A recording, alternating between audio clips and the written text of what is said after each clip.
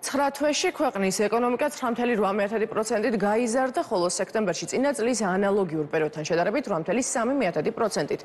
ინფორმაცია სტატისტიკის ეროვნული სამსახური ავრცელებს. ეკონომიკური ზრდის მიმართულებით მნიშვნელოვანი წვლილი შეიტანა ისეთმა დარგებმა, როგორც ამ შენებლობა, საფინანსო და სადაზღვეო საქმიანობები, ტრანსპორტი და დასაწყობება, ვაჭრობა.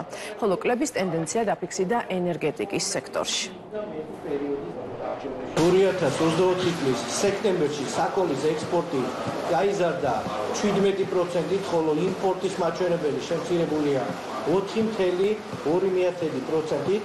ექსპორტის და ძირითადად განაპირობა სუბუქი ავტომობილების, ასევე მადნების და სასმელების ექსპორტის მოცულობის გაფართოებამ ძირითადად ჩინეთის ცენტრალური აზიის ქვეყნების მიმართულებით. 11.6%-ით გაიზარდა ეკონომიკური ზრდის წინასწარი შეფასებისას გამოყენებულ DFG-ს გადახვდა საწარმოთა ბრუნვის მოცულობა და თითქმის 14 მილიარდი ლარი შეადგინა.